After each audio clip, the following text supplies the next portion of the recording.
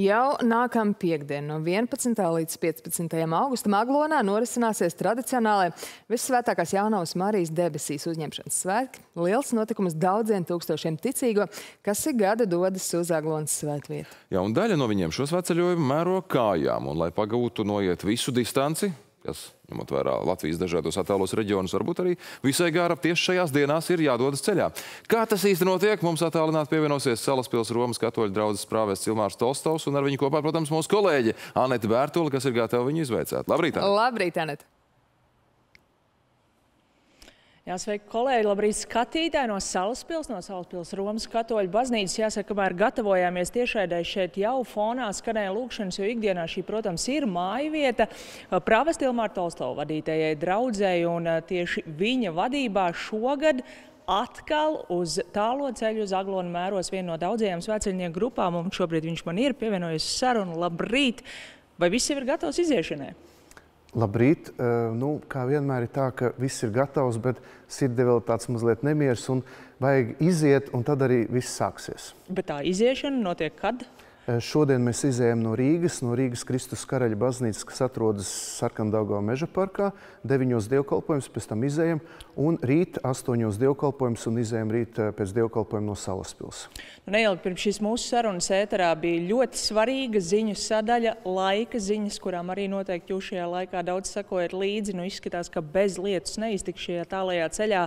Tas traucē vai varbūt tomēr arī palīdz kādās situācijās? Um, Vispirmkārt, jāsaka paldies, ka līst, jo bija liels sausums. Um, pats arī biju šogad dziesmu svētkos, tur arī bija laika apstākļi, bija dažādi un nebija arī viegli, bet uh, mēs esam izturīgi un uh, lietus mums netraucēs. Mēs esam arī piedzīvojuši dažādus laika apstākļus, bet mēs esam gatavi arī paciest visas grūtības, lai šīs 11 dienas aiziet līdz aglonai.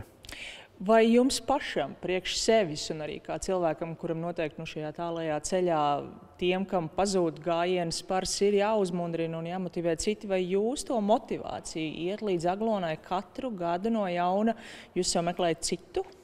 Es varu teikt, ka šo jau vairāk kā 30 gadu laikā, kopš svētceļojuma ir Latvijā šādā formā kā grupas, svētceļojumā nāk motivēti cilvēki. Un katrs, kurš šogad arī ies, viņš ir izlēmis iet vai visu ceļu vai tikai dažas dienas, var pievienoties tikai uz vienu dienu, uz īsu brīdi, bet eh, motivācija katram ir ļoti svarīga. Es personīgi pats šogad vēlos, lai nu, tā, tas garīgais pacēlums, kas sākās ar hokeja uzvaru mums eh, Latvijas trešo vietu, arī dziesmu svētku pacēlums, lai tas turpinās, lai tas nenoplūk. Jo dažreiz mēs redzam, ir dažādas grūtības, ekonomiskās, arī šī kara situācija, eh, kas saistībā ar Ukrainu un pasaules notikumiem, bet lai mēs gūstam šo spēku. Un mēs arī ar savu svētceļiem vēlamies nu, dot šo pienesumu, vairot labestību, sirsnību, eh, smaidīt visiem māt, eh, dot šo cerības vēsti. Un es domāju, arī tas pilsētas, tie ciemi, caur kuriem mēs iesim, mēs mēģināsim uzmundrināt ikvienu garām gājēju, ikvienu, ko satiksim, lai būtu šī, nu, šis gaišums, šī sirsnība, šis, eh, nu, šis tāds pacēlums, kas mums ir, lai viņš turpinās. Un arī jāsaka, šajā sveceļojumā vienmēr ir tādi dziesmu svētku elementi. Jūs taču ejat un dziedat, vai ne? Un tieši tā arī pievēršat nereti cilvēku uzmanību? Jā, nu tāpēc, ka mēs eh, gribam dziedāt, mēs esam tauta, kas dzied un eh, dziedam šīs garīgās dziesmas, dziedam arī dziesmas, kuras eh, dzied ļoti daudz latgalē,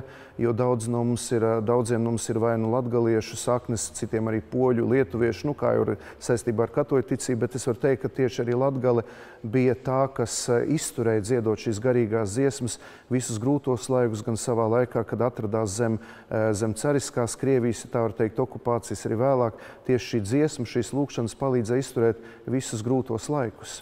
Un, protams, šie tieši pacēlumi, pilnie mirkļi, dziesmas, māšana apkārtējiem, varbūt kāds pievienojas. Tas ir tas, ko mēs redzam arī ziņās, ko mēs parasti parādām. Bet nu, noteikti šis aptuveni pusotru nedēļu garais ceļš nav viss tik nu, vienmērīgs. Cik grūti patiesībā tas ir un cik daudz to lūzumu punktu šajās dienās ir?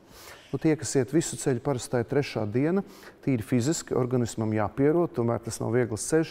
Bet es varu teikt, ka šīs fiziskās grūtības uh, nāk kopā ar garīgajām, jo tu sāc pārdomāt savu dzīvi, tu aizēji prom no ikdienas, tu kaut kādā veidā aizmirsti visas tās ikdienas grūtības, un tad tu sāc iedziļināties sevi. Jo mērķis jau ir ieskatīties savā sirdsapziņā, pārdomāt, kā es dzīvoju līdz šim, izvērtēt daudzas lietas, un man vienmēr pēc svētceļiem nāk jauna atziņa, skaidrība, es saprotu, kas man nekādā gadījumā nav jādara, vai arī saprotu, kas man viennozīmīgi ir jādara. Tā tas ir tāds izvērtes, jā, tāds pārdomu ceļš un arī lēmumu pieņemšanas laiks.